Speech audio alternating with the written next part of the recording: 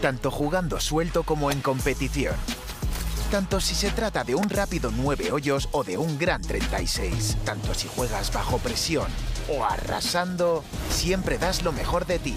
Nuevo Fuel de FootJoy. All right, here with Janie Jackson, a 68 today. What was it like to take advantage of these morning conditions?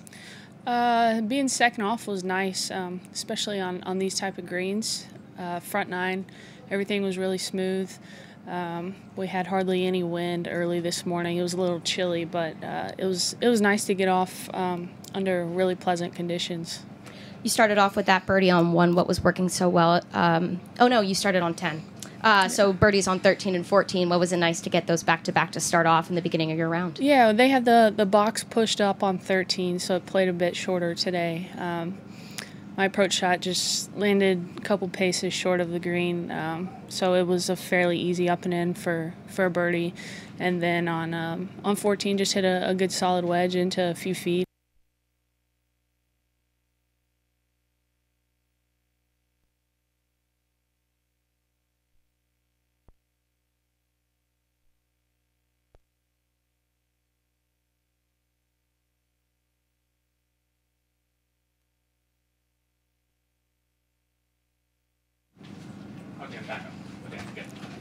You're back up. Yep.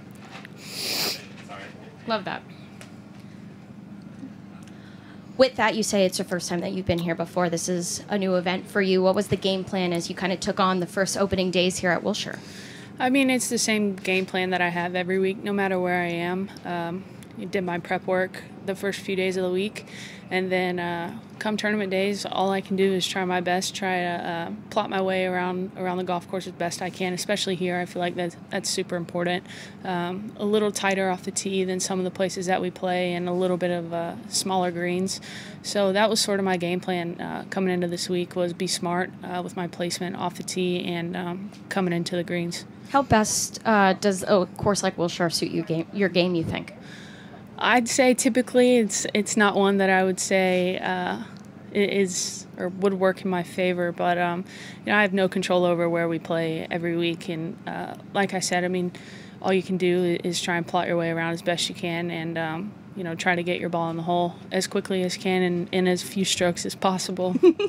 What's the game plan as you head into tomorrow with an afternoon tee time? Those Poa annua could certainly get bumpy. Yeah, I, I expect the greens to be a little bumpier um, tomorrow and probably a little more wind uh, throughout the entire round if I had to imagine.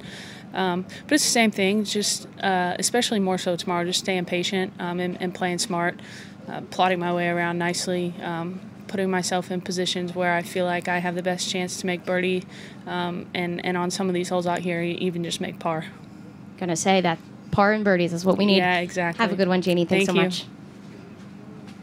El nuevo Pro SL no tiene clavos, pero tiene un agarre increíble, con una plancha de carbono adicional para optimizar el retorno de energía y un nuevo y moderno diseño, el zapato original de máximo rendimiento sin clavos tiene algunas ventajas importantes.